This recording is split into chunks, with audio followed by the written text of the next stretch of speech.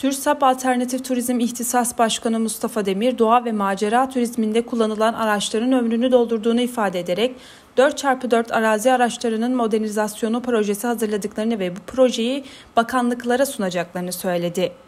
Geçtiğimiz günlerde Marmaris'te yaşanan kazada safari aracının devrilmesi sonucu 5 Iraklı turist yaşamını yitirmiş, 4 kişi de yaralanmıştı. Yaşanan kaza sonrası gözler safari araçlarının güvenliğine çevrildi. TÜRSAP Alternatif Turizm İhtisas Başkanı Mustafa Demir, sektörün elindeki araçların eski olduğunu ve kullanım sürelerinin dolduğunu söyledi. Türkiye'de bu araçların üretebilecek imkan ve bilgi birikimi olduğunu ifade eden Demir, yaptıkları çalışma ile ilgili şunları söyledi. Esasında bizim bu çalışmamız 3 yıl öncesine dayanıyor. Ee, Türkiye'de e, askeriyeye araç yapan yaklaşık 7-8 tane üst yapıcı var. Bunlarla teker teker görüşüp bir fizibilite projesi çıkarttık ve Türkiye'de doğa ve macera turizminde kullanılabilecek 4x4 araçları yapabilecek bir imkan var, e, know-how var e, bilgi birikimi var ve bunu yapmaya e, elverişli tesislerimiz var.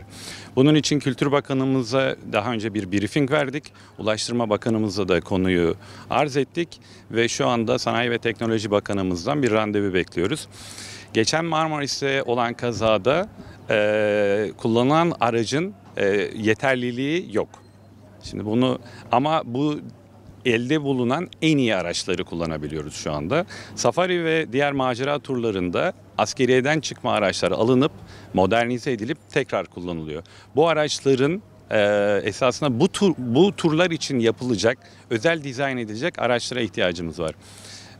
Ve bunu Türkiye'de yapabilecek 7-8 tane e, tesis var bakanlıklardan beklediğimiz daha önce taksicilere verilen imkanı biz doğa sporları yapan seyahat ajantalarına verilmesini istiyoruz.